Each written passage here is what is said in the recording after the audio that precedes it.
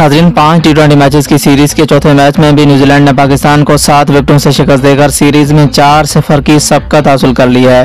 पाकिस्तान की जानब से दिया गया एक रन का हदफ, न्यूजीलैंड ने तीन विकेट के नुकसान पे उन्नीसवें ओवर की पहली ही गेंद पे हासिल कर लिया। पाकिस्तान की जानब से दिए गए एक रन के हदफ के ताकों में न्यूजीलैंड के इब्तदाई तीन खिलाड़ी सिर्फ़ बीस रन पे आउट हो गए थे। न्यूजीलैंड की पहली विकेट आठ रन पे फिन एलन की सूरत में गिरी, जबकि Kiwi opening batter Shaheen Shah Afridi की गेंद पे साइम अयूब के हाथों कैच आउट हो गए। उसके बाद टिम सेफर्ड को शाहीन अफरीदी ने सिफर पे कैच आउट किया। शाहीन ने सिर्फ़ चार रन पे वेलियन को भी पवेलियन भेज दिया। तीन विकेट जल्द गिरने के बाद डैलन रिचर और ग्रैंड फिलिप्स ने पाकिस्तानी बॉलर्स की जमकर धुलाई की और दोनों खिलाड़ियों ने न सिर्फ़ फिफ्टीज मुकम्मल की बल्कि अपनी टीम को जीत से भी हमकिनार कराया और नाकाबले शिकस्त भी रहे।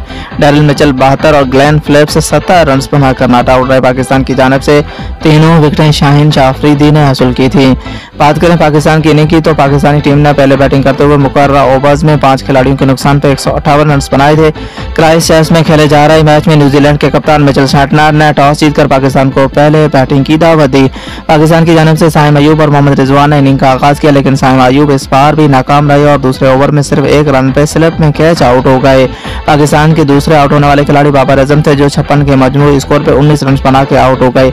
अट्ठासी रन पे फखर जमा भी पंद्रह गेंदों पर नौ रन बना के आउट हो गए। आज़म खान की जगह टीम में शामिल होने वाले साहबजादा फरान भी दो गेंदों के मेहमान साबित हुए और एक रन बनाकर आउट हुए। एक जानब विकटें गिरने का सिलसिला जारी रहा, लेकिन दूसरी जानब मोहम्मद रिजवान जिम्मेदाराना बैटिंग के ज़रिए टीम का स्कोर आगे बढ़ाते रहे और अपनी नफ सेंचुरी मुकम्मल की एक के मजमू स्कोर पर इफ्तार अहमद चौदह गेंदों पर दस रन की इनिंग खेलकर आउट हो गए। मोहम्मद रिजवान तिरसठ गेंदों पर नब्बे रन और मोहम्मद नवाज़ नौ गेंदों पर इक्कीस रन बनाकर नॉट आउट रहे।